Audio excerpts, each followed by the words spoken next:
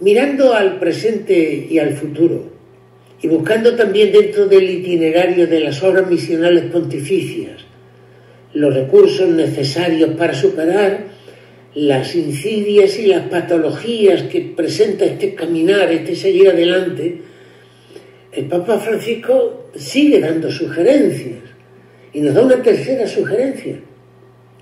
Y la tercera sugerencia es que las obras misionales pontificias son, y así deben de experimentarse, un instrumento de servicio a la misión de las iglesias particulares en ese horizonte de la misión de la Iglesia Universal, que abarca siempre a todo el mundo. En esto consiste su contribución, siempre preciosa, al anuncio del Evangelio, a la misión evangelizadora.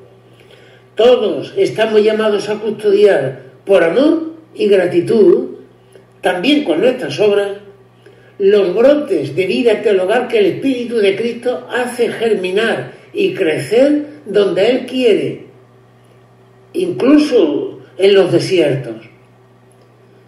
Papá dice, por favor, en la oración pedid primero que el Señor nos disponga a discernir las señales de su obra, pero para después indicárselas a todo el mundo. Solo esto puede ser útil. Pedir que para nosotros, en lo íntimo de nuestro corazón, la invocación al Espíritu Santo no se reduzca a un postulado estéril y redundante de nuestras reuniones y de nuestras homilías.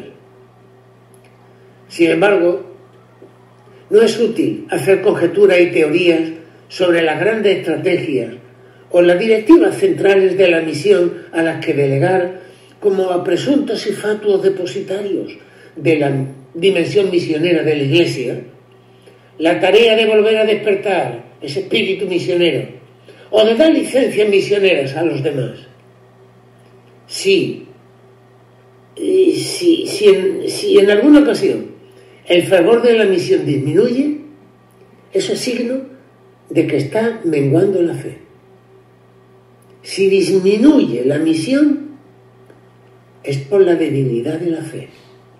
Y en tales casos, la pretensión de reanimar la llama que se apaga con estrategia y con discursos, acaba por debilitarla aún más y hace avanzar solo el desierto.